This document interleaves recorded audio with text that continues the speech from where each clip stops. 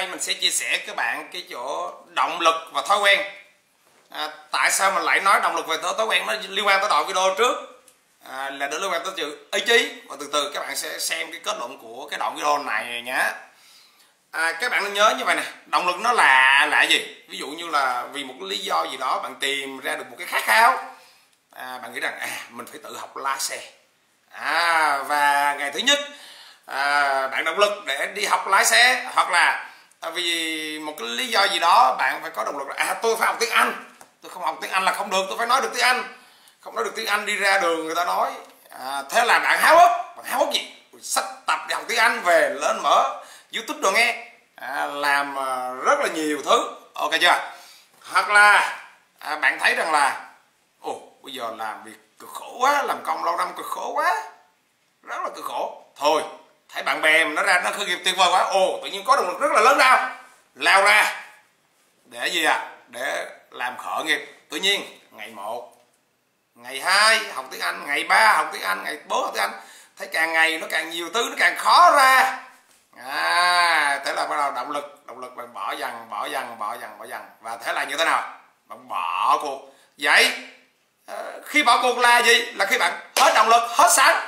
Hết sáng rồi mấy ngày này vừa qua mà nói nếu mà hết xăng thì như thế nào đi mua xăng đổ không không không không không phải như vậy.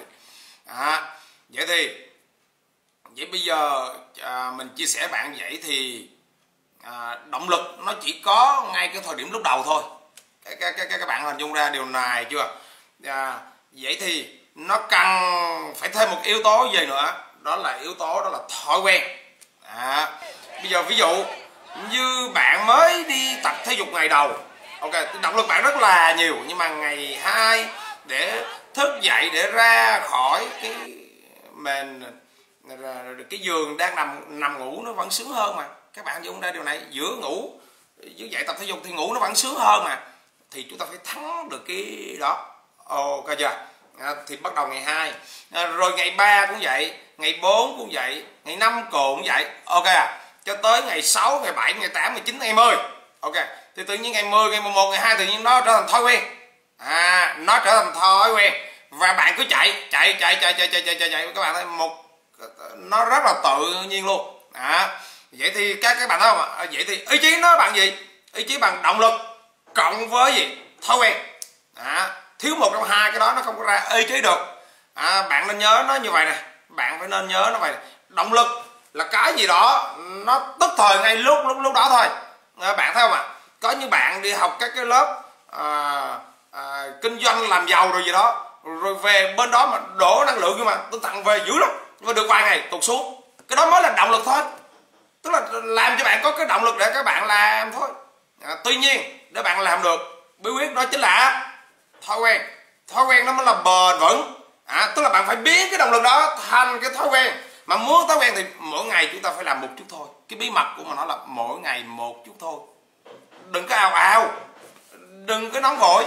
Mình thấy có những bạn cứ đi học lớp rồi rồi các các bạn ngẫu nhiên các bạn lá lá rồi các bạn làm những cái việc nó nó, nó rất là mắc cười. Đó mới là đạo đạo động lực thôi bạn. Nó không có bền vững đâu. Động lực nó mà thúc đẩy bạn ờ, bước ban đầu thôi. Thói quen. Các bạn nói thói quen nó mới là bí quyết để chúng ta thành công. Thói quen mỗi ngày một chút thôi mỗi ngày một chút thôi. Cái hành động gì mà bạn làm nó lặp đi lặp lại lặp đi lặp lại nó sẽ biến thành thói quen. Và các bạn biết thói quen tốt á, nó tạo ra bạn một cái năng lượng rất là tuyệt vời. Và thói quen xấu á, thì nó triệt tiêu đi cái năng lượng của bạn. Vậy thì ý chí là gì? Ý chí là bằng hành động cộng với thói quen. Và hôm nay mình chỉ cho bạn cái cách để các bạn luyện các các, các, các bạn hiểu chưa? Bạn hãy xem đi xem kỹ lại cái đoạn video này để các bạn luyện ra được cái ý chí. Ý chí khởi nghiệp cũng vẫn vậy. Bạn cần phải có một động lực.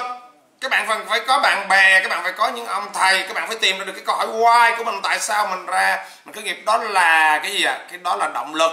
Tuy nhiên bạn phải lên kế hoạch làm việc đó mỗi ngày lên kế hoạch đi thực tập bán hàng mỗi ngày lên kế hoạch xây dựng hệ thống online mỗi ngày lên kế hoạch tập bán hàng marketing mỗi ngày. Ok, lên kế hoạch gặp giao lưu với hàng. Mỗi ngày mỗi ngày. Tích đến sau này nó biến thành thói quen thì nó sẽ trở thành gì ạ? À? cái nguồn ý chí tuyệt vời của các bạn. Nó chính là hai cái đó. Động lực, cộng thói quen nó thành ý chí. Và ý chí đó chính là một cái năng, nguồn năng lượng rất là tuyệt vời ở trong cái con người của các bạn. Cảm ơn các bạn rất nhiều. Các bạn sẽ xem cái đoạn video sau. Làm gì để các bạn duy trì được cái động lực và cái ý chí đó liên tục. Cảm ơn các bạn rất là nhiều.